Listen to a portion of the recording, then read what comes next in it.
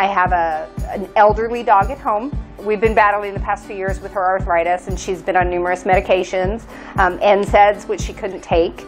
Um, so we were reduced to using Adequan, Tramadol, Gabapentin, um, and some joint supplements. And I, I, kind of thought we had we'd gotten to the point where that was the best control I was going to see with her was with the medication that I was using. And introduced me to to Glyde, and I said, well, you know, I've got nothing to lose.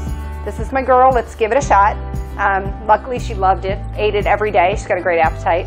Then I would start noticing that she would be walking through the house, and then all of a sudden, she would get like this crazy urge to just get a little zoomy going. And she would just like run through the house like I have not seen in, in a really, really long time. And at that point, I started really thinking, I think this could be the Glyde that's working. I mean, nothing else in her life has changed.